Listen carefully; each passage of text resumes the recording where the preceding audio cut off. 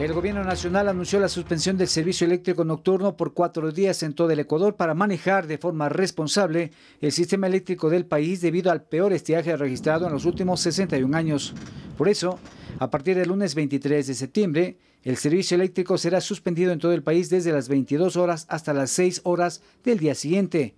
Esta medida se aplicará los días lunes, martes, miércoles y jueves de la siguiente semana. Estos cortes de luz se suman al anuncio del próximo mantenimiento programado que será desde las 22 horas de este miércoles 18 hasta las 6 horas del jueves 19 de septiembre. En ese tiempo se realizará mantenimiento del sistema de transmisión y redes de distribución eléctrica.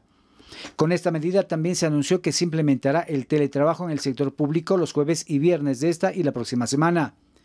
El gobierno señaló que la suspensión de energía se ha programado en un horario nocturno para minimizar el impacto en las actividades productivas y laborales del país. Esta decisión responde a la necesidad de manejar de manera responsable el sistema eléctrico del país, que atraviesa una situación crítica debido a la escasez de agua que afecta a las plantas hidroeléctricas. Rom Garzón, Noticias 7.